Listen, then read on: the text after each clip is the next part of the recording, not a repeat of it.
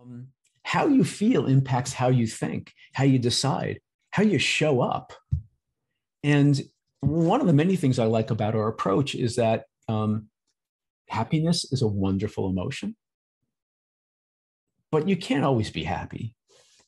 And we would say it's not helpful to be happy all the time. Um, if any of you are involved in social justice work, making this, you know, repairing the world as best you can, where does that come from? Probably many different places. But I'm a I'm a, a fan in a way of both anxiety and anger. Not anger that becomes destructive, but anger that you manage really, really well to fight injustice and to make this world a better place. Uh, we know early on that people not who are depressed but a little sad, you're more likely to find errors in a document. Think about that in your own work. Um, so each of these emotions and general areas is helpful.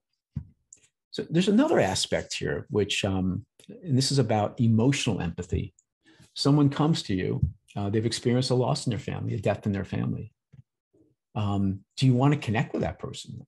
You know, the answer is, I'm sure, is yes. But it's like, hey, how you doing? Hey, what's happening? Oh, sorry about the death in your family.